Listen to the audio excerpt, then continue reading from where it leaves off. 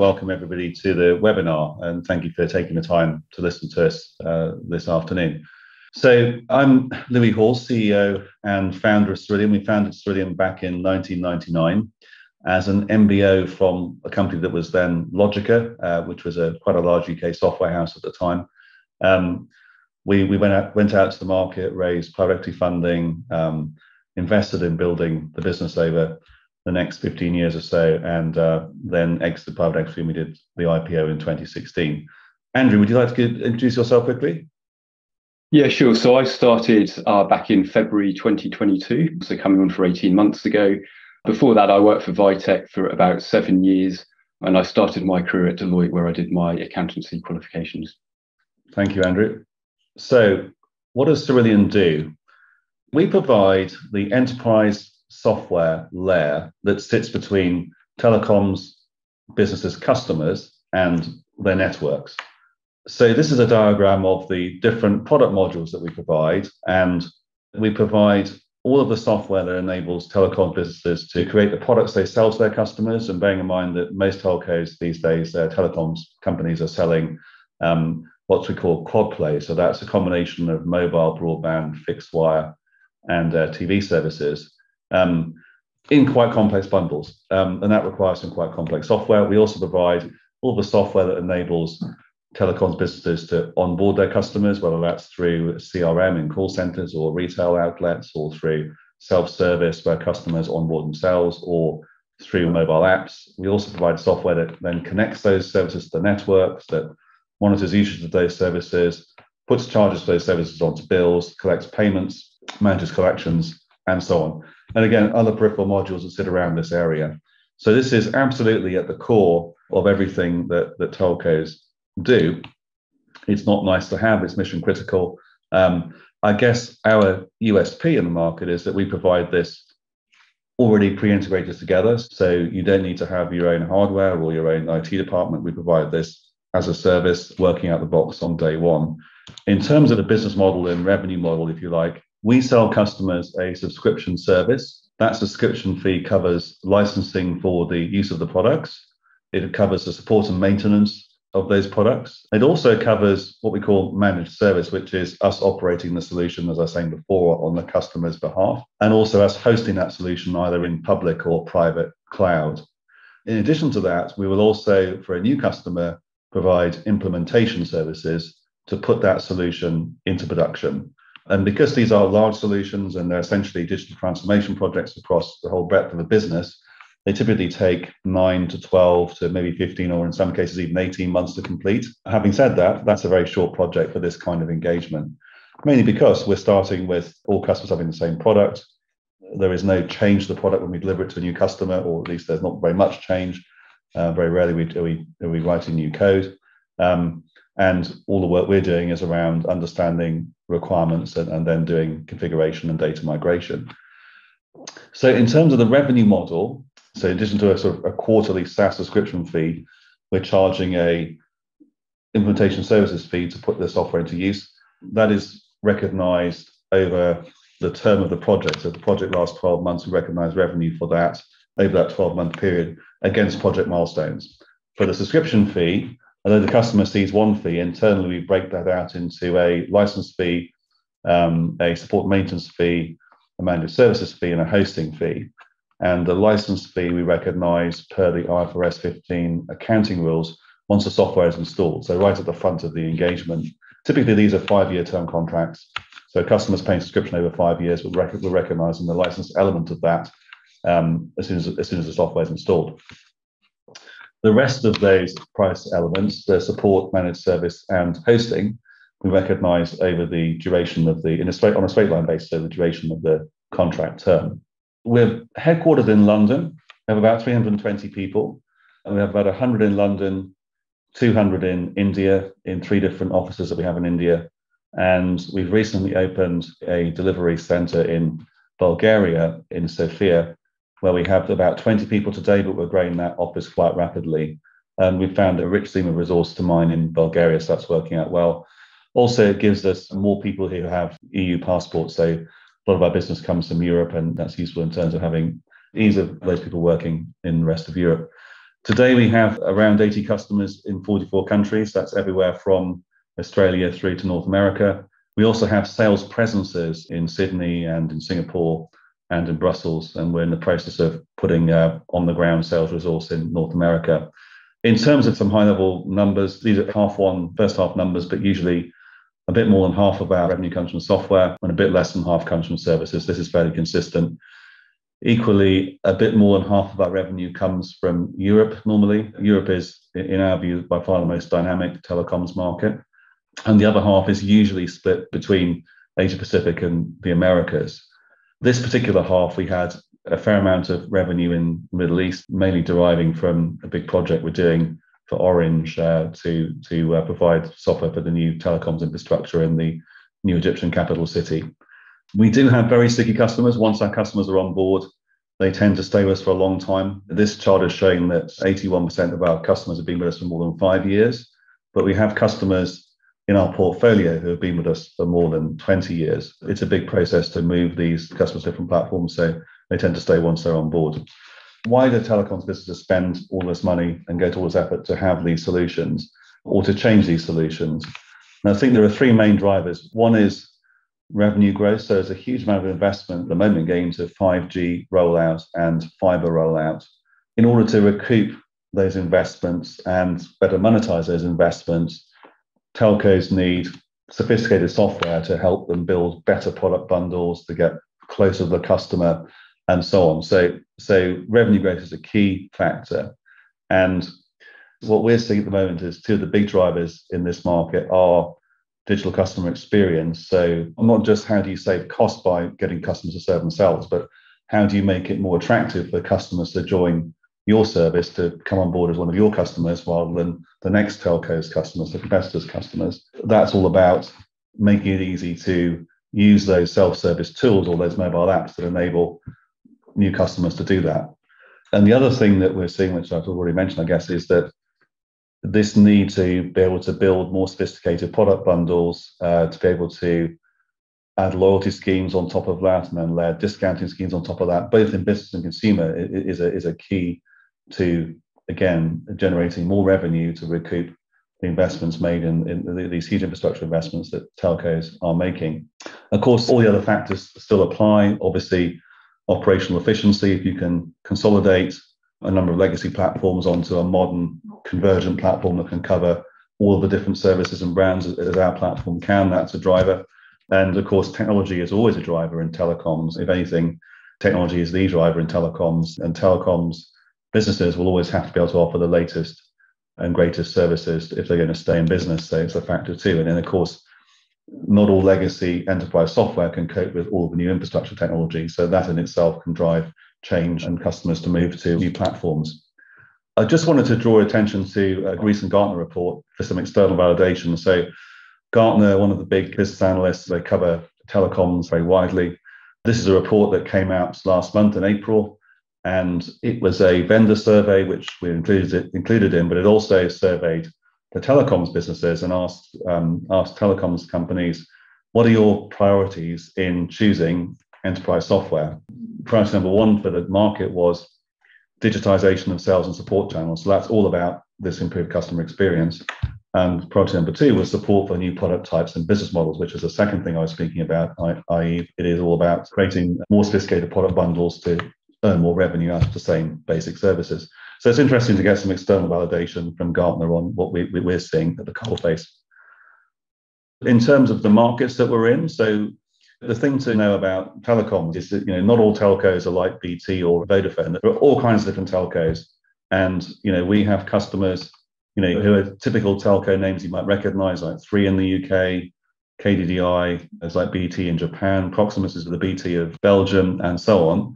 But we also have customers who are not really telcos at all, like uh, the, so in the UK, Neos is the telecoms business of SSE, the, the power generator. Um, in Denmark, Norlys is another big electricity company, second largest uh, power generator in Denmark, but they're also the largest su- supplier of TV and broadband services to to um, to telecoms to, the telecoms market.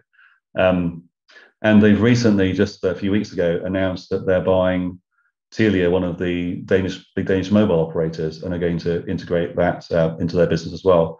So, so that's an, you know that's a, a, a, not not a telco you might think of a telco. And then of course there are all the MVNOs, the brand-based telco businesses. So think about things like Tesco Mobile, for example. we call those mobile virtual network operators. And then we have, you know, emergency services networks around the world. They all have their own telco operations that need all of these software modules. So again, without going into vast amounts of detail, there are all kinds of different types of telco. And just going back to the previous slide, you can segment the market in lots of different ways. You can also look at it in terms of just scale. So, you know, tier one, tier two, tier three, and so on. And I think for the largest telcos, we are able to break into those through niches. So either by providing one or two of our modules and not the whole product suite, or by providing the whole product suite to one or two of that telco's brands. So that's the way we break into the big ones. And then the sort of more mid-sized, smaller ones, we can provide the whole suite to all the brands. So there are different connect points and different places that we can operate in that market, which gives us a lot of diversity. In terms of channels, we also work through the channels. Channels are a lot less important than when I started out in this industry. Um, I think part of that is driven by the SaaS revolution. So because software vendors providing software as a service ma- mainly now, um, you know, the, the, the, concept of going through a third party to have access to the service is not quite as, as obvious. So, so um, you know, tel- certainly telecoms businesses uh, we see want to go direct a lot more to the software provider. However, Nokia is an important channel for us in that Nokia can access some of the markets that it's harder for us to get to on our own, particularly in the Middle East. Hence the deal we won with Nokia, the Egyptian capital, which we're currently working on, and that's a very interesting project. It would have been hard for us to to to uh, to win um, with Orange without um, Nokia being involved. Um, and also, we, we do work with the the big um, the big systems integrators, so people like Infosys, um, uh, uh, Capgemini, CGI in Canada, and so on, um, on a on a sort of a fairly opportunistic basis. But they do give us access to leads that we wouldn't necessarily always see, and they're also potential pools of resource to help us with projects on some of these larger deals. In terms of the competitive landscape, well, there, there is competition. The competition splits into three main groups: the large independent software vendors, so people like Oracle, for example, who have product suites in this area. And we tend to win against these much larger beasts because we're very focused on, as I was saying before, a product solution. Every customer has the same software. If a customer wants features we don't have, we, we won't give them a customized version. We will either introduce that feature through our own R&D program, or in some cases, um, customers will fund R&D to have that feature um, pr- produced if it's not something we think that we want to invest in or something that we would do at a later date, but not right now. Uh, so a fair amount of R&D is, is customer funded. Um, and that's a, a, useful source of product development. But that customer then does not have any any IP rights in the software or any royalties, and, and that that feature is a product feature that all the other customers will benefit from. And that's an absolutely fundamental principle in our business model.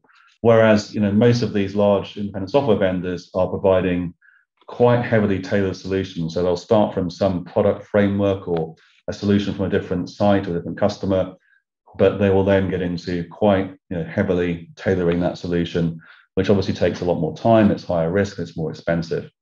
Then the middle group of competitors are the what we call the network equipment vendors. So that's Ericsson, Nokia, ZTE, and Huawei, the main ones in the world. The Chinese vendors are not in our current main markets, Europe and North America. They're still strong in the emerging markets, but we tend not to do very much in emerging markets. And uh, Nokia is a partner, so they're not really a competitor. Ericsson are a competitor, but somewhat um, lost focus on their software business. Uh, uh so we, are not seeing as much of Ericsson as we would normally do. Um, and then there are some smaller independent software vendors of the same sort of order, order of magnitude size of ourselves uh, but they tend to be more kind of regionally focused or focused on particular types of telcos. Um, so we don't generally compete much against against the smaller ones. So just a quick couple of points about the six month period we're reporting on, and then I'll hand over to Andrew to go through that in some detail. We've had very strong trading, I think, in the first six months of the year, and we have hit record highs on all the key KPIs. You can see revenue, EBITDA, just PBT, net cash, all, all up. What I'll just spend a couple of minutes on is the orders and the sales side of things. So we achieved 15.3 million, a 40% increase in new orders compared to the same period last year. This is still lower than the, the high we had in 21. And the reason for that is that new orders in 2021 were heavily skewed towards the first half. So total new orders for 21 was something like 30 million. Um, so whilst 15.3 is lower than 23, we, we we're, pretty confident that we'll um, exceed the the total for 21 in 23. And a couple of points about that new order figure. So all of those new orders came from existing customers. The interesting thing is that we signed two quite substantial deals with existing customers uh, of a scale that you know a few years ago would have been considered to be big new customer wins. So one of those we announced at 10 million pounds. Uh, the other one we announced at six million pounds. And just to explain before I go on how 10 plus six doesn't equal 15.3, uh, in our new orders numbers, we don't include any support and maintenance sales. And that's because when we take new orders into back order, uh, we only we only we only include a year of uh, support and maintenance contracts in our in our back order. Uh, that's just so that we don't distort our back order. Otherwise, you know, we've got back order that's full of contracts that are getting uh, sorry revenue that won't get recognised for for five years or so. So so that's why there's a slight discrepancy. Um, of course, we we've done other other existing customer sales than those two big ones, and, obviously that's a different number. But just to give you some color around that, the the interesting thing about those two quite substantial existing customer sales is that they weren't to particularly large customers, and they certainly weren't to our large, our largest customers.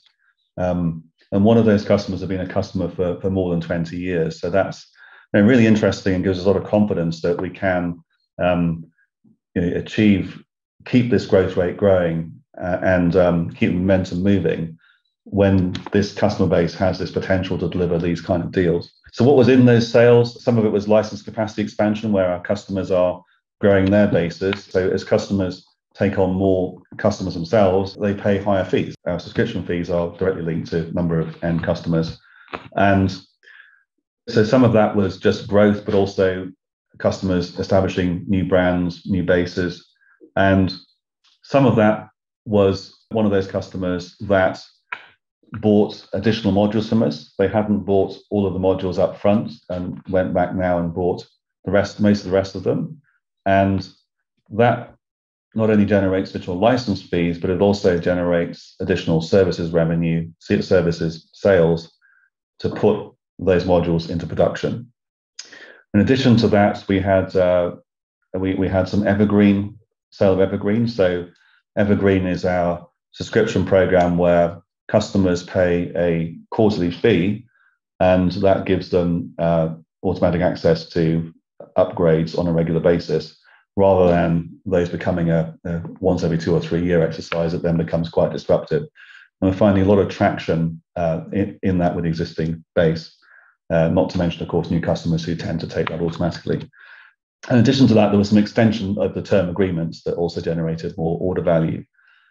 So a sort of corollary point to this is that what's interesting as well is that we're seeing the opportunity to convert older customers into more of the SaaS model through selling them not just evergreen but managed services, for example, so that we take over running the software from older customers' IT departments. And I think you know we'll see more of that going forward. One final point before I hand over to Andrew. As you can see from this chart, this is our unweighted new customer pipeline we were pretty confident we'll convert some of this in H2. So we'll also have new customer sales coming through as well. So again, that should help this order value to be uh, quite a high level, I think, for 23 as a full year. That is not a forward-looking statement. So we're, we're very positive about the, the sales outlook. So I'll hand over to Andrew now to go into some more detail, give some more color on, on the numbers. Andrew. Thank you very much, Lou. So as you can see from the graph in the top left-hand corner, revenue growth was very strong in the first half, increasing by 27%. That follows a 26% increase in the first half of last year, so really continuing the very strong trend that we've been seeing in recent years. Moving over to the right-hand side, it's interesting to see that adjusted PBT grew even faster than that. So this grew by 46% in the first half. So clearly we're benefiting from favorable operating leverage as the incremental revenue comes through. Part of the reason for that very strong operating leverage in the first half of this year was a lot of the extra revenue came from license sales. So, as most of you will know, any incremental license sales will drop all the way through to profit at 100% because uh, there's very little additional cost associated with them. Moving to the right hand side, you can see that net cash performance remains very strong. Uh, net cash was 23.6 million pounds at the end of the half. Um, and there's a detailed slide we'll come on to in a minute, uh, which looks at cash performance in a bit more detail. In terms of new orders, Louis already talked through the key points on the new orders, so there's nothing else I wanted to add to that. But if you look to the graph in the very middle in terms of the back order, you can see the back order remains very strong at 43 million pounds. Now, this is made up of two components. First of all, 34.7 million pounds of orders that have been contracted but not yet recognized. So essentially, this is you know, orders that we've got in the hopper that re- ready to be turned into revenue, um, and gives us very good visibility um, in, into revenue over the next few months. And on top of that, we've got 8.3 million pounds of annualized support and maintenance revenue. So again, that 43 million pounds you know, is very well covered. Um, to, gives us very good coverage for revenue for the rest of the year um, and also going into FY24. Graph to the right of that shows the recurring revenue run rate. So this is increased by 34% up to 13.1 million pounds. Again, the increase in recurring revenue run rate has been faster than the increase in revenue of 27%. And this is showing that over time, Cerillion is becoming an increasingly higher quality business.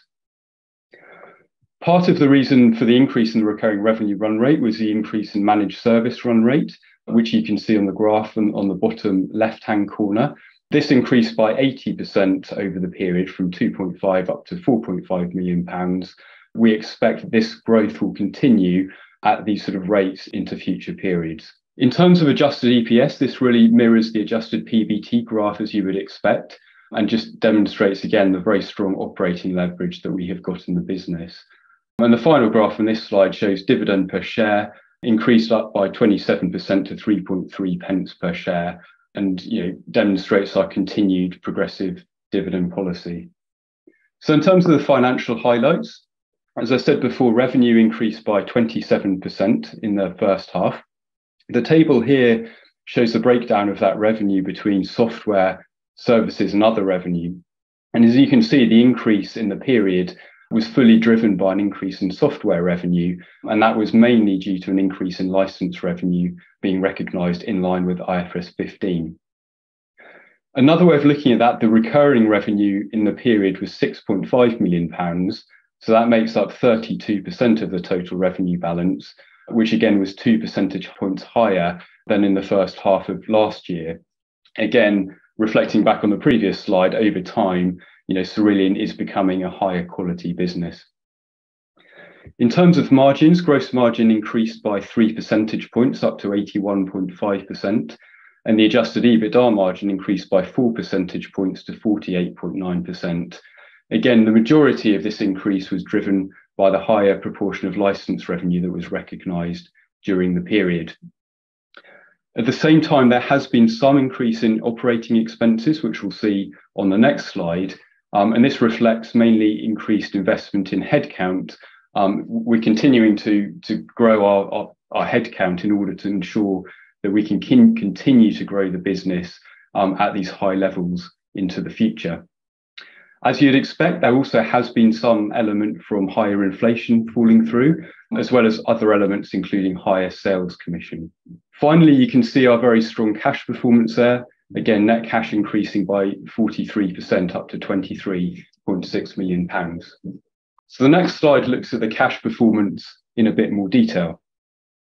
The table at the top shows a reconciliation of adjusted EBITDA down to free cash flow, what you can see there is that there has been some element of an increase in working capital in the first half. This is linked to the higher proportion of license revenue that we recognized. And this is something that we did flag as part of our FY22 results. So, as we are recognizing more license revenue, um, in line with IFRS 15, we have to recognize that revenue up front. But on a typical five year contract, the customer will pay in equal installments. So, as we recognize the revenue up front, we have to recognize more accrued income on the balance sheet, but that will then unwind over the contract term. In terms of CapEx and net interest and tax paid, these balances were broadly in line with the prior period. So this is the key story for getting to free cash flow of 5.8 million pounds. The graph at the bottom shows a reconciliation of opening net cash through to closing net cash. I think the key point here is that the free cash flow that we've generated is a lot higher than the amount that we've spent on dividends, on lease payments, and also from unfavorable FX. So consistent with prior periods, we have generated net cash. In terms of the consolidated income statement here, I've already talked through the increase in revenue and also the drivers for the increase in margins. So really just four additional points I wanted to mention here. First of all is that we continue to invest in research and development. So over the full year, we expect to invest around 12,000 days into R&D. From an accounting perspective, in the first half, we capitalized half a million pounds worth of development costs. This was broadly the same as the amount of the amortization charge that went through the P&L. So net net, there's been no overall benefit from capitalizing these development costs. Secondly, as you can see, there was an increase in operating expenses of 18%. This was much lower at only 13% after stripping out the impact of foreign exchange. But the fact that this was well below the increase in revenue at 27% shows that we continue to control our cost base very closely. Thirdly, in terms of the depreciation and amortization balance, you can see there the 1.6 million includes half a million pounds relating to amortization of acquired intangibles. Now, this balance stems from the IPO and is now fully amortized. So, therefore, going into the second half of the year and in future periods, this balance will be closer to 1.1 million pounds. So, around about 500,000 pounds lower than we've seen in the first half. Finally, on this slide, as we had anticipated, there was an increase in the effective tax rate. This increased from 14.2% up to 19.4%. The 19.4% reflects our best estimate for the full year tax rate. And the main reason for the increase is the increase in the UK corporation tax rate from 19% up to 25%. In terms of the consolidated balance sheet, I think the key point here is that the balance sheet remains incredibly strong. You can see net cash of 23.6 million pounds. There's no debt on the balance sheet as this was repaid in full two years ago. And overall, there was an increase in net assets of 38% from the prior period. In terms of the consolidated cash flow statement, this is mainly shown here for reference. You can see a reconciliation of adjusted EBITDA at the top of 10 million pounds through to our closing cash balance of 23.6 million pounds. I think the key point here is that cash generation remains incredibly strong. You can see that cash has increased by 43% from the prior period. But I think most of the key points have been covered on the previous cash slide. Back to you, Louis. Thanks, thanks, Andrew. That's that's great. Thank you. So I won't say much more to summarize the, a strong order book and strong pipeline, particularly for new customer business, gives us a lot of comfort about the future. And I think, you know, in terms of outlook, we're we're we're pretty well positioned. Um, uh, so that, that that's really it from us. And uh, I guess the, uh, back to you, Townsend. Floor's open for questions. What do you intend to do with the huge cash pile? Are share buybacks a possibility? So um, I, I think we, we, we buy limited amounts of shares to fund the uh, the our staff save as you earn share option scheme and the LTIP for the senior management team, uh, but they're relatively relatively small amounts.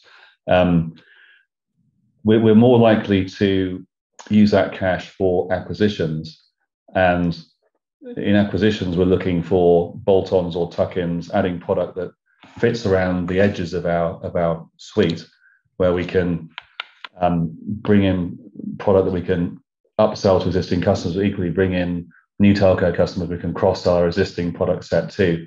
So, so that that's more where the focus is. Also, it's worth saying that as we win larger customers with larger deals, that, that there's more focus on our balance sheet, and you know, it, we, we we do need to demonstrate that we we have a strong balance sheet. So, it, shouldn't be all of that cash is available to be to be to Thank be you very much. So and you talked about three classifications of competitors. It sounds as if the competitors most similar to Cerillion are the smaller software vendors.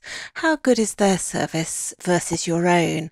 And how likely is it that one or more of these will do a Cerillion and become real competitors by taking a high quality offering to a wider audience? It's, that's a good question. Uh, I think we do punch above our weight. So, so we, we don't compete much with the smaller vendors. We compete really with the bigger ones. Um, I, I, it's a hard one. Um, I think the part of it is that you know if you go back to our DNA, we we were founded out of what was a large software business.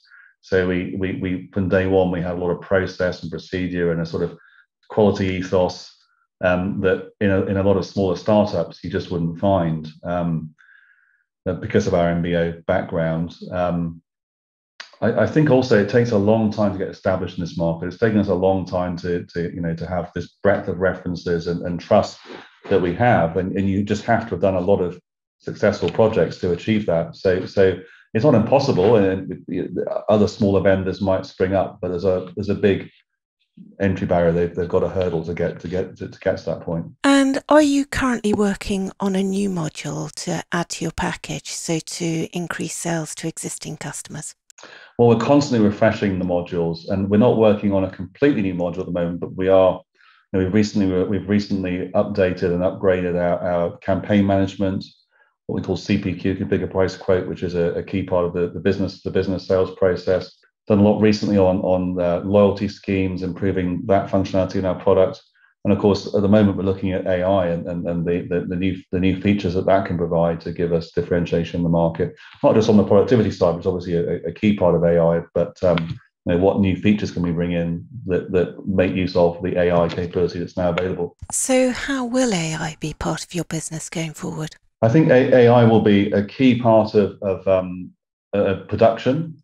So what we're seeing now is tools that can write software modules and then test software modules. Of course, AI makes mistakes, so it's important that AI can not just write software but but um, test it.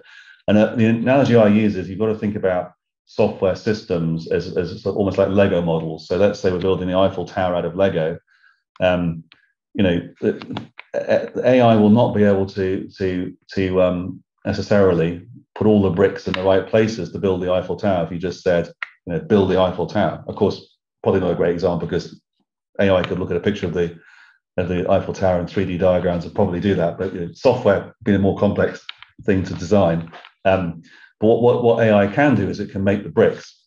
Uh, and if you think about you know, maybe that model is a thousand bricks, and each of those bricks being a piece of code takes maybe five days to write um, and five days to test uh, that AI can do that work, and that's a lot of the kind of um, you know the, the the the, coding that um, the the sort of well, I'm trying to think of a, of a polite way of putting it, but the the the the detailed you know production work, not manual work, but you know it's, it's sort of lower skilled work than the design part, and um, you know that that not having to spend all that effort on on just the basic code cutting and testing will, will save us a lot of um, a lot of uh, effort and, and increase productivity significantly.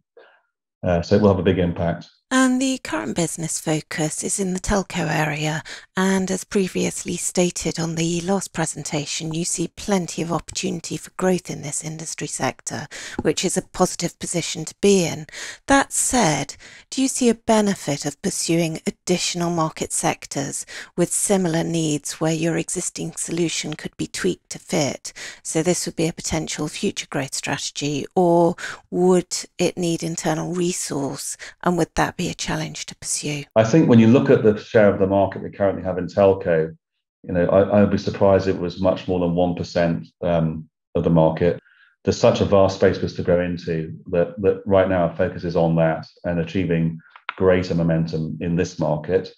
I think you could certainly adapt um, our software to, to, to other utilities, uh, electricity, water, gas, and so on. And in fact, some of our modules are used in other industries, but you know, really for the big transformation projects, you need a lot of domain expertise.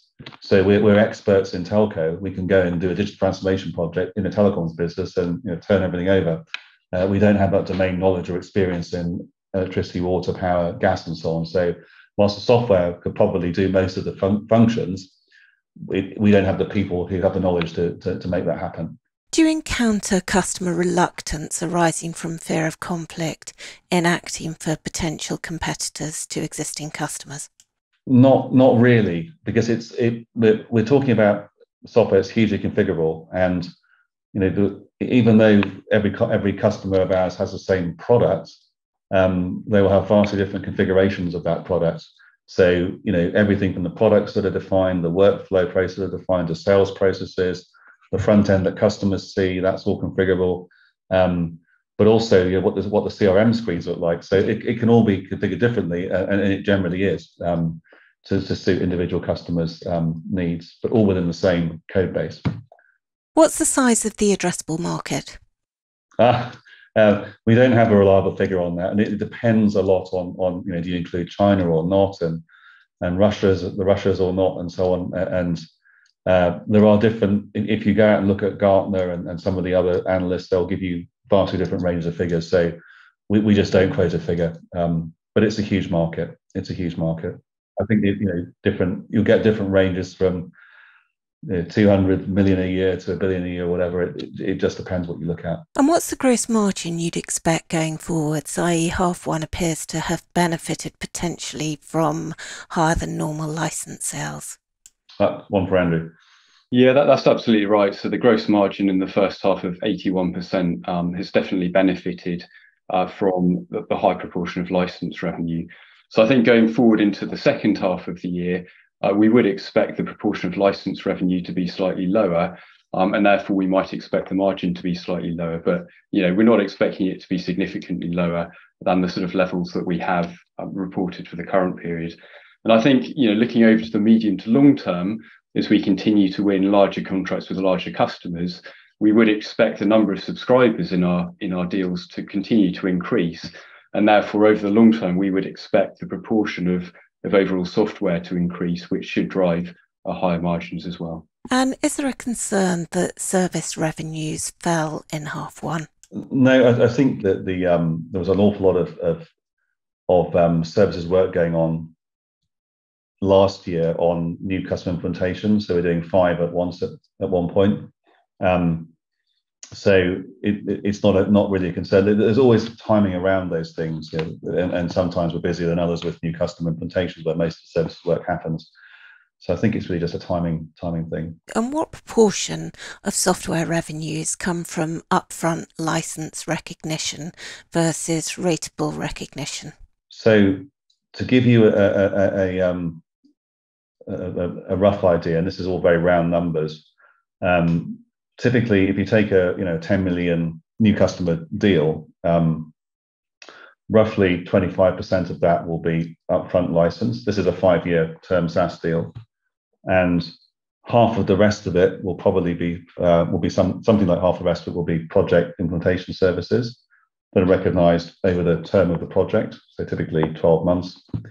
And the other half of that half will be the ongoing uh, uh, uh SaaS services over the five year term from once it goes live. So that's a very rough rule of thumb way of thinking about it. And to what extent do you consult with current customers as part of the process of developing the product? And what are the pros and cons of this approach? Uh, we consult with customers a lot. We have a, essentially customer user group twice a year. Um, and we, we go through in detail the roadmap and what's on the roadmap for the foreseeable future we, we, we, we showcase new developments, but also we ask feedback on what customers think we should be doing and what concern, you know, what, what particular needs they have that they feel we might not be addressing yet. So that's a key part of our model. I don't think there are really any any any cons in consulting customers. And you mentioned that part of your revenues are from North America, but you're building the team in the US. Can you expand on your plans for the US and the benefit you anticipate from expanding the US team? Yeah, so so we're not building a delivery team. I mean, in the US, but we're we're putting some sales resource on the ground. I mean, we bear in mind we, we, we do we do sell into North America, but we've done it based out of London um, most recently, and I, I, think it's just about getting a little bit closer to that market by having boots on the ground. Um, I, I, think that the, the challenges with the US market, particularly as opposed to North America in general, is that the, the, the telcos tend to be very large or very small. So too small is too small for us, and the very large are quite hard to break into. But but you know, but there is more diversity, I think, in that market than there has been in the past. So so we, we do believe it's worth um, investing more into trying to to build a bigger customer base in, in North America.